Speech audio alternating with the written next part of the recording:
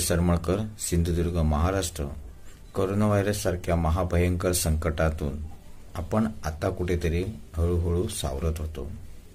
हे संकट आपल्यावरचं असतानाच आपल्यावर महापुरासारखं दुसरं संकट आलं. गेल्या आठवड्यामध्ये आपण जर पाहिलं असता देशातील विविध भागामध्ये पाऊस कोसळला. यामध्ये कोकण पश्चिम महाराष्ट्र मराठवाडा विदर्भ आणि आपल्या शेजारी राज्य म्हणजे गोवा या ठिकाणी सुद्धा फार मोठ्या प्रमाणात पाऊस त्या ठिकाणी पडला. आपण जर महाराष्ट्राच्या बाबतीत जर विचार केला असता रायगड चिपळूण रत्नागिरी सिंधुदुर्ग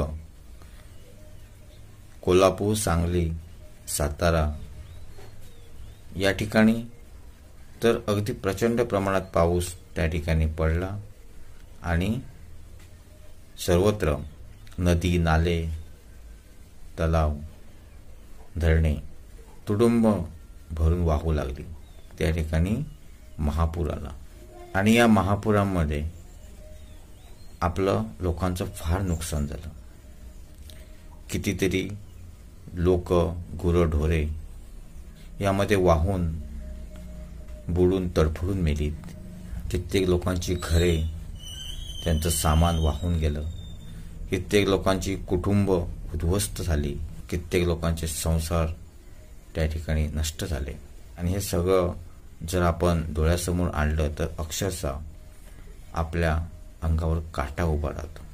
या महापुरामध्ये ज्या लोकांचा जीव गेला ज्या लोकांचा मृत्यू झाला त्या लोकांना आपण जिवंत तर करू शकत नाही पण जे लोक या संकटातून वाचलेले आहेत त्या लोकांसाठी मात्र आपण निश्चितच मदत करू शकतो. कोरोना व्हायरससारख्या संकटामध्ये आपण प्रत्येकाने आपल्याला शक्य आहे तशा प्रकारची मदत एकमेकांना केलेली आहे. तशाच प्रकारची मदत या संकट काळीसुद्धा आपण करणं आवश्यक आहे. या पूरग्रस्तांच्या झालेल्या नुकसानांची भरपाई किंवा ज्यांच्या कुटुंबातील ज्या व्यक्ती मृत्यू झाल्या ही सर्व भरपाई तर आपण करू शकत नाही.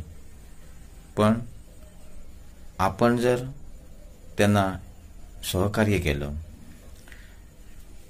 आपण जर त्यांना मत्तीचा खारीचा वाटा उचलला तर मात्र त्यांना एक प्रकारची मदत होईल त्यांचं मनोबल वाढेल त्यांची जगण्याची इच्छाशक्ती प्रबळ होईल. आपण त्यांना मदत केली आणि माणुसकीचा धर्म निभावला हे आपल्याला एक समाधान मिळेल.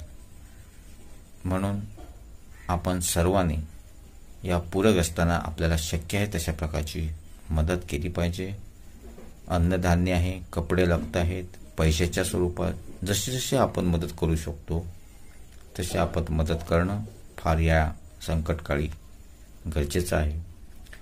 आणि सरकारला सुद्धा या ठिकाणी मी विनंती करू इच्छितो की या पूरग्रस्तांना